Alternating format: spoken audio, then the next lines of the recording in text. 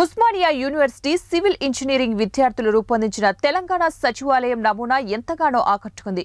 నిర్మాణ్ రెండు వేల ఇరవై మూడు కార్యక్రమంలో భాగంగా ఉస్మానియా యూనివర్సిటీ ఇంజనీరింగ్ కళాశాలలో సివిల్ ఇంజనీరింగ్ విద్యార్థులు రూపొందించిన నమూనాలను ప్రదర్శించారు.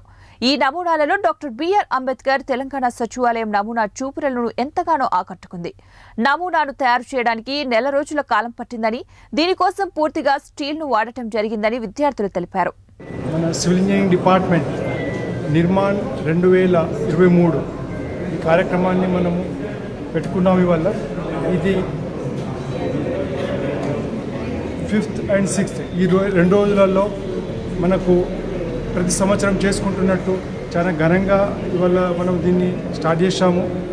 ఈ సందర్భంగా ఇవాళ మనకు చీఫ్ గెస్ట్గా ఇంజనీరింగ్ చీఫ్ ఆర్ఎన్బి డిపార్ట్మెంట్ నుంచి గణపతి రెడ్డి గారు వచ్చారు.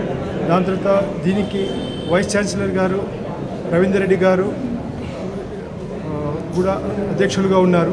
ప్లస్ మన ప్రొఫెసర్ శ్రీరామ్ వెంకటేష్ గారు అధ్యక్షత వహించారు. ప్లస్ దీనికి చాలామంది స్పాన్సర్ చేశారు. కానీ దీంట్లో భాగంగా మన స్టూడెంట్స్